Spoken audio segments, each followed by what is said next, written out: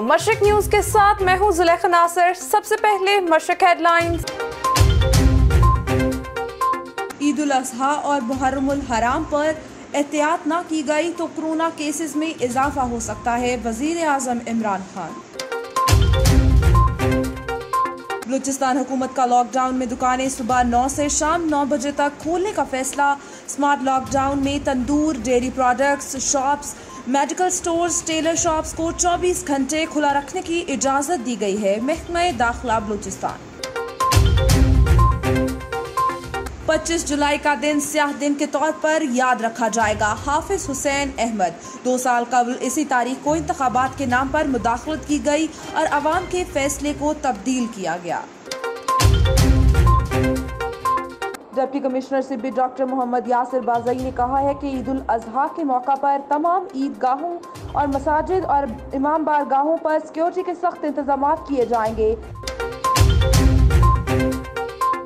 Faqir Mohammad road, new Najmuddin road, Pashtun नदरा मशरकी bypass, Pashtun Bagh के आवाम tankers mafia के रहमो करम पर हैं। रहनुमा जमीयत इस्लाम नजरियाती जिला कोयटा।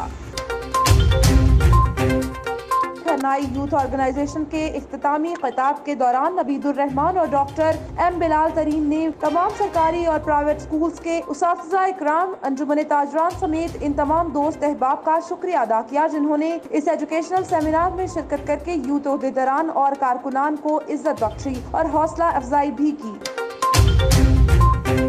हुकूमत बलोचिस्तान ने कोरोना वायरस के खतरात के पेश नज़र हंगामी बुनियादों पर ताफ्तान में करंतना मरकज कायम किया। पीडीएम में जिली इंतजामिया और महकमा सेहत को फाल किया और अपने वसाइल से पाँच हज़ार जायरीन को तमाम मुमकिन तबी सहूलियात और जरूरियात ज़िंदगी की फ्राहमी को यकीनी बनाया। साथ ही, सूबे में मेडिकल इमरजेंसी नाफिज करते हुए Quetta P C S I R Qila Abdullah और चमन में मजीद करंतना मराकज और आइसोलेशन सेंटर्स कायम कर दिए। इसके अलावा कोयटा में 50 एकड़ और ताफ्तान में 15 एकड़ पर रिलीफ एंड इमरजेंसी सेंटर्स भी बनाए जा रहे हैं। पर वक्त इकदाम की वजह से बलूचिस्तान के किसी भी ज़िले में वायरस मुकामी तौर पर मुंतकिल नहीं हुआ और न ही कोई मरीज़ सामने आया, जो एक बहुत बड़ी कामयाबी है। सूबाई हुकूमत, डॉक्टर्स और पाक फौज ने बलूचिस्तान में बीमारी की शरह को बढ़ने से बचाया और हुकूमत की आगाही मुहिम के नतीजे में अवाम ने भी लॉकडाउन को सराहते हुए खुद को घर तक महदूद कर लिया। बलूचिस्तान में न सिर्फ़ बीमार अफराद की तादाद बहुत कम है, बल्कि सत्रह मरीज़ सेहतियाब भी हो चुके हैं। बलूचिस्तान हुकूमत कोरोना वायरस के खिलाफ जंग जीतने के लिए बरसरे बेकार है। ताहम मुआशे को भी इस जंग में अपना फाल किरदार अदा करना होगा। आपने जानी, अब खबरें तफसील के साथ। वज़ीर अजम इमरान खान का कहना है कि ईद अजहा और मुहर्रमुल हराम पर एहतियात ना की गई तो कोरोना केसेस में इजाफा हो सकता है।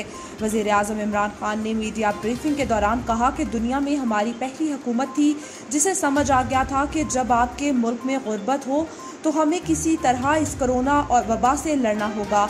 हमने जो इकदाम उठाए, इनसे कोरोना केसेस में कमी आई। तीन दिन के दौरान मुल्क में वायरस से सबसे कम अमवात हुई। शुरू में हम पे दबाव डाला गया, हम मुकम्मल लॉकडाउन करें, लेकिन हमारा स्मार्ट लॉकडाउन का फैसला बेहतरीन है। बलोचिस्तान हुकूमत का लॉकडाउन में दुकानें सुबह नौ बजे से शाम नौ बजे तक खोलने का फैसला सामने आया है। तफसीत के मुताबिक जारी स्मार्ट लॉकडाउन में दुकानें खोलने के लिए नए औकातकार जारी कर दिए गए हैं, जिसके मुताबिक दुकानें सुबह नौ बजे से शाम नौ बजे तक खोलने की इजाज़त होगी।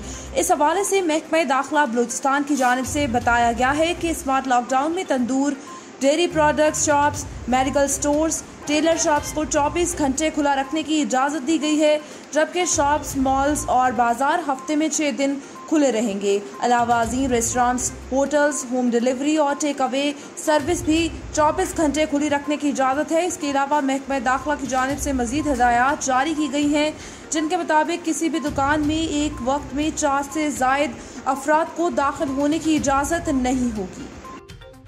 जमीयत इस्लाम के मरकजी तर्जुमान और सबक सैनिटर हाफिज हुसैन अहमद ने कहा है कि 25 जुलाई का दिन स्याह दिन के तौर पर याद रखा जाएगा। दो साल कबल इसी तारीख को इंतबात के नाम पर मुदाखलत की गई और आवाम के फैसले को तब्दील किया गया। इन ख्याल का इजहार उन्होंने जामिया मतलूम कोयटा में मुख्तलिफ़ वफूद और मीडिया से गुफ्तु करते हुए किया। जे यू आई टी के मरकजी तर्जुमान हाफिज हुसैन अहमद ने मजीद कहा कि पच्चीस जुलाई 2018 को सिलेक्टर्स ने अवाम की राय पर डाका डाला। इसलिए इस दिन को हमेशा स्याह दिन के तौर पर याद रखा जाएगा, जबकि इससे पहले भी 5 जुलाई को आइन मअतल करके मार्शल लॉ लगाया गया था। उन्होंने कहा कि 21वीं सदी में एक ऐसा डिज़ाइन बनाया गया कि बज़ाहिर तो ये सिविल और जमहूरी हुकूमत नज़र आए, लेकिन इख्तियार दरपर्दा कुतों के पास हैं। उन्होंने कहा कि हुक्मरान जमात की एक खातून वज़ीर साहिबा ने कहा है कि हम और वो एक सफ़े पर तो क्या एक सतर पर हैं? हालाँकि एक सतर पर मौजूदगी इस वक्त थी जब परवेज मुशरफ के मार्शल लॉ के इंतबात हुए। या जियाउल हक के मार्शल लॉ के दौर में जब इंतबात हुए थे, वो इस वक्त सतर पर थे। लेकिन इस वक्त ये बैन सतूर में है। अब सूरत हाल ये है कि तमाम तर इख्तियार जो इस्तेमाल किए जा रहे हैं, इसमें इमरान खान और इसकी पार्टी बे इख्तियार है। Deputy commissioner Sibi doctor Mohammad Yasir Bazai ने कहा है कि ईद उल अजहा के मौका पर तमाम ईदगाहों और मसाजिद और इमाम बारगाहों पर सिक्योरिटी के सख्त इंतज़ाम किए जाएँगे। ए एरिया में पुलिस और बी एरिया में लिवीज फोर्स के जवान अपने फराज सर अंजाम देंगे। शहर में सफ़ाई सुथराई और अलाइश ठिकाने लगाने के लिए म्यूनसिपल कमेटी से भी अभी से प्लान तश्कील दें। बगैर एन ओ सी के खाने जमा करने वाले लोगों के खिलाफ सख्त कार्रवाई की जाएगी। इन ख्याल का इजहार उन्होंने ईद उल अजहा के सिलसिले में डिप्टी कमिश्नर हॉल में उलमा इकराम और अफसरान के इजलास से खिताब करते हुए किया। इस मौका पर assistant commissioner Sibi Mohammad Ismail Mengal assistant commissioner Bakhtiarabad, Zuhaib Ahmed A S P Sibi Mian Mohammad Husnain, deputy auto doctor Akbar Solangi और उलमा इकराम शरीक थे। Deputy commissioner Sibi doctor Mohammad Yasir Bazai ने कहा कि जिला सिब्बी में ईद उजी के मौका पर मरकजी ईदगाहों, इमाम बारगाहों और मसाजिद में सिक्योरिटी के फूल प्रूफ इंतज़ाम किए जाएँगे और इस सिलसिले में ए एरिया में पुलिस और बी एरिया में लिबीज फोर्स के जवान ड्यूटियाँ देंगे। उन्होंने कहा कि जिला सिबी में ईद के मौका पर मेले के इनका अंडों और मुर्गियों की लड़ाई पर मुकम्मल पाबंदी है। इस सिलसिले में खिलाफ वर्जी करने वालों के खिलाफ सख्त कार्रवाई की जाएगी। उन्होंने कहा कि शहर में बगैर एनओसी के खाले जमा करने की इजाज़त नहीं। जो एनओसी के बगैर खाले जमा करेगा, उसके खिलाफ सख्त कार्रवाई अमल में लाई जाएगी। उन्होंने कहा कि ईद के मौका पर म्यूनसिपल कमेटी सिब्बी सफ़ाई के खसूस इंतज़ाम करें, ईदगाहों, इमाम बारगाहों, मसाजिद जाने वाले रास्तों पर सफेदी का छिड़काव करें और जानवरों की अलाइशें उठाने के लिए कमेटियाँ तश्कील दें, ताकि शहरियों को किसी भी किस्म की परेशानी का सामना न हो। उन्होंने कहा कि बख्तियाराबाद में भी सफ़ाई की खसूसी इंतज़ाम किए जाएँ। जमीयतुलमा इस्लाम नजरियाती पाकिस्तान के मरकजी कन्वीनियर मौलाना अब्दुल कादर लूनी, मरकजी जनरल सेक्रेटरी मौलाना महमूदुल हसन कासमी, मरकजी deputy convener Nazim Khan advocate, मरकजी तर्जुमान सैयद हाजी अब्दुलसत्तार शाह चिश्ती, कादरी मोहम्मद अकमल सूबाई कन्वीनियर मुफ्ती शफीउद्दीन, सूबाई कन्वीनियर खैबर पख्तूनख्वा मौलाना मोहम्मद ताहिर बनूरी, सूबाई कन्वीनियर पंजाब कारी मोहम्मद अकमल, सूबाई कन्वीनियर सिंध मौलाना अज़ीज़ अहमद शाह अमरोटी और दीकर ने कहा कि हुक्मरान और माफिया कौम पर रहम करके महँगाई और जखीरा अंदोजी ख़त्म करें। महँगाई और बेरोज़गारी से अवाम खुदकुशियाँ करने पर मजबूर हो चुके हैं।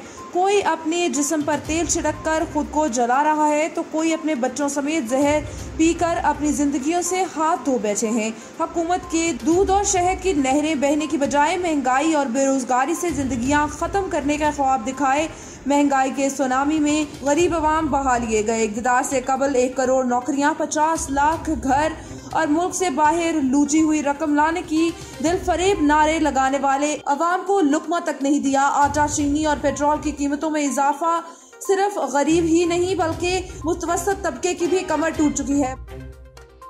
चलते हैं हरनाई जहाँ रिपोर्टर के मुताबिक हरनाई यूथ ऑर्गेनाइजेशन के अख्तामी खिताब के दौरान नबीदुलरहमान और डॉक्टर एम बिलाल तरीन ने तमाम सरकारी और प्राइवेट स्कूल्स के उस इक्राम, अंजुमन ताजरान समेत इन तमाम दोस्त अहबाब का शुक्रिया अदा किया, जिन्होंने इस एजुकेशनल सेमिनार में शिरकत करके यूथ अहदेदारान और कारकुनान को इज़्ज़त बख्शी और हौसला अफजाई भी की। हरनाई यूथ ऑर्गेनाइजेशन क्वालिटी यानी मैार तालीम के लिए जदोजहद कर रही है, जबकि वालदेन को यह एहसास दिलाते हैं कि जब तक इनके बच्चों को मीरी तालीम नहीं मिलेगी तो वो आगे कैसे तरक्की कर सकते हैं? दो तबके जिनका इस एजुकेशनल सेमिनार से बरह रास्त ताल्लुक था, इन्हें दावत दी गई प्रोग्राम में शिरकत के लिए ज़ोर दिया गया, लेकिन वो प्रोग्राम में शरीक ना हुए। यानी ये प्रोग्राम इनके बच्चों के लिए नहीं। अब भी हम उम्मीद करते हैं कि वालदेन और सियासी पार्टीज़ इस नेक मकसद में हमारे शाना बशाना साथ दें। हम मायूस नहीं, बल्कि हम अपने इस नेक मकसद में ज़रूर कामयाब होंगे। बिलाल तरीन मशरक न्यूज़, हरनाई। सिब्बी पुलिस ने कामयाब कार्रवाई करते हुए मुख्तलिफ़ चोरी और डकैती की वारदातों में मुलविस गैंग की सरगना समेत तीन मुलजमान को गिरफ़्तार कर लिया है। गिरफ़्तार मुलजमान ने असलहा गोलियाँ, मोबाइल फ़ोन, सोने के जेवरात और चार मोटरसाइकिल बरामद कर लिए हैं। इन ख्याल का इजहार ASP city captain retired Mian Hasnain Iqbal ने, SHO city Mohammad Asif Khajak SHO Allahabad Mohammad Jamal Mehar के हमरा सिटी थाने में हंगामी प्रेस से खिताब करते हुए किया इस मौका पर CIA incharge Ghulam Ali additional SHO Nawab Khan Looni SI Lashkaran Khan Gishkori ASI Mohammad Hanif भी मौजूद थे। उन्होंने कहा कि कुछ दिनों से सिब्बी के एरिया में चोरी और डकैती की वारदातें रूनमा हो रही है। इन वारदातों को ट्रेस करने और इनकी रोकथाम के लिए DIG police, Sibi range captain retired Parvez Ahmed, Chandio और S S P Sibi Malik Farooq Faiz Lehri की खसूसी हदायत पर मुख्तलिफ़ टीमें तश्कील देकर कार्रवाई शुरू कर दी गई है। सिब्बी पुलिस ने कामयाब कार्रवाई करते हुए मुख्तलिफ़ चोरी और डकैती की वारदातों में मुलविस गैंग के सरगना मोहम्मद मुनवर वल्द मोहम्मद अनवर मेहर और इनके दीगर साथी मोहम्मद असगर रिंद, हासिल खान कोलाची को गिरफ़्तार करके इनके कब्जे से टीटी पिस्टल, तीन मैगजीन, ज़िंदा गोलियाँ, दो तोला सोने के जेवरात जिनकी मालियत तकरीबन दो लाख रुपए है, तीन अदद राबड़ी शुदा मोटरसाइकिल और एक वारदात में इस्तेमाल होने वाला मोटरसाइकिल बरामद कर लिया है। गिरफ़्तार मुलजिमान से तीन अदद मोबाइल फ़ोन भी बरामद किए गए हैं। उन्होंने बताया कि गिरफ़्तार मुलजिमान से तफ्तीश जारी है, जिनसे मजीद अहम इंकशाफात की तो है। मजीद गैंग के मेम्बरान और सहूलतकारों की गिरफ्तारियों का भी इम्कान है। न्यूज़ स्टूडियो से फिल वक्त इतना ही। मजीद खबरों और अपडेट्स के लिए विज़िट कीजिए हमारी वेबसाइट मशरक और देखते रहिए मशरक न्यूज़।